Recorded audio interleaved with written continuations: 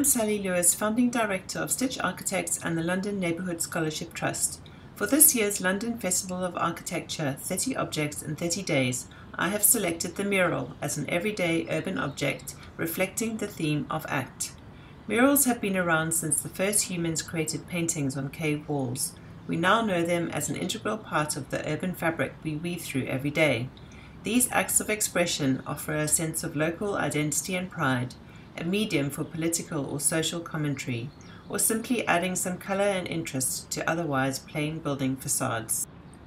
For South Acton, a council estate in the process of regeneration and transformation, Art on the Walls has brought the community together and celebrated the estate's history through this process of change. From paintings on the walls of buildings earmarked for future regeneration to a community mural created in one of the early phases. Stitch designed the Station Quarter scheme to offer an integrated public art canvas for the South Acton community to celebrate the gateway to the new neighbourhood. We held a competition with local artists and the community selected a mosaic artist Carrie Reichardt, who worked with residents to create the South Acton Tree of Life.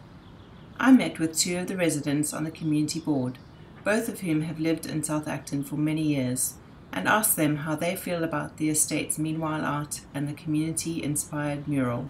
I liked it when they painted all the birds, first of all, and then they had the big yellow on the side of Hocking, wasn't it, Rix? I thought it was quite nice the fact that they actually did that because we was going through regeneration and um, the area was looking very, very dull.